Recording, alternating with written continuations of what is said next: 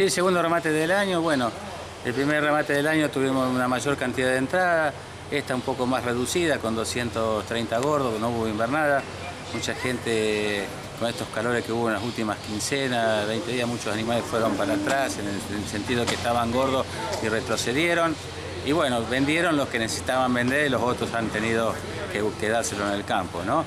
Por eso ha resultado un mix ahí entre de precios eh, que dan que lo muy bueno está distanciado de lo regular, entonces los precios máximos lo hicieron aquellos topes, los novillos de primera calidad, igual que el novillito o el ternero liviano.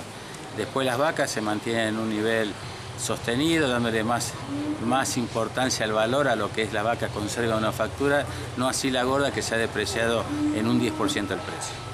Eh, haciendo referencia al, remate anterior y, comparándolo con este, el del día de hoy, ¿los precios son en alza? Sí, yo considero que están eh, lo que es en el abasto en sí, lo que es el consumo y, el novillo ha estado mejor en este remate. Eh, la vaca también, si vamos al mes atrás, estaríamos hablando de los mismos valores. No así la vaca conserva, que ha levantado un 10%. el efecto China está es realmente importante, o sea que hay necesidad de compra para exportar. Sabemos que China hoy es uno de los compradores número uno que tiene Argentina, ¿no? Bien, hablamos de cierta concurrencia de público, vemos gente que es de, la zona y gente que ha venido incluso hasta de Rosario a este remate. Sí, sí, bueno, los habituales compradores son de Rosario, Santa Fe y Entre Ríos, son lo más importante y un comprador fuerte de Córdoba.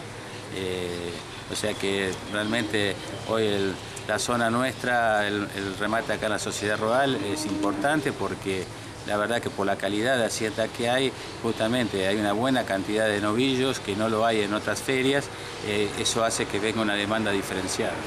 Bien, estamos, eh, veíamos en sí la realización de este remate, un importante trabajo por parte de la gente. Esta gente es de la cooperativa la que realiza todo lo que es el, el movimiento de los animales y demás. Sí, sí, por supuesto, son todas las personas, personal a caballo y a pie son de años que están trabajando con nosotros, sí son contratados, que vienen a cumplir con los remates de acá y de Santa Clara de Buenavista.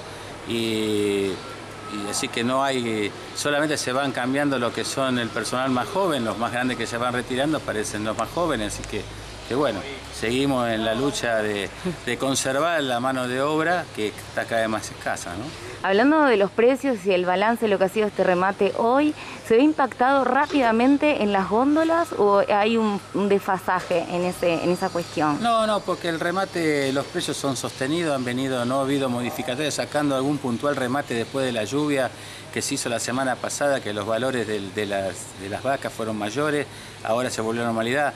No puede impactar nada porque estos son precios ya que vienen desde el año pasado, o sea que no, no hay grandes modificaciones. Hay pequeñas mejorías de acuerdo a lo que se da en el remate y en el momento que corresponde.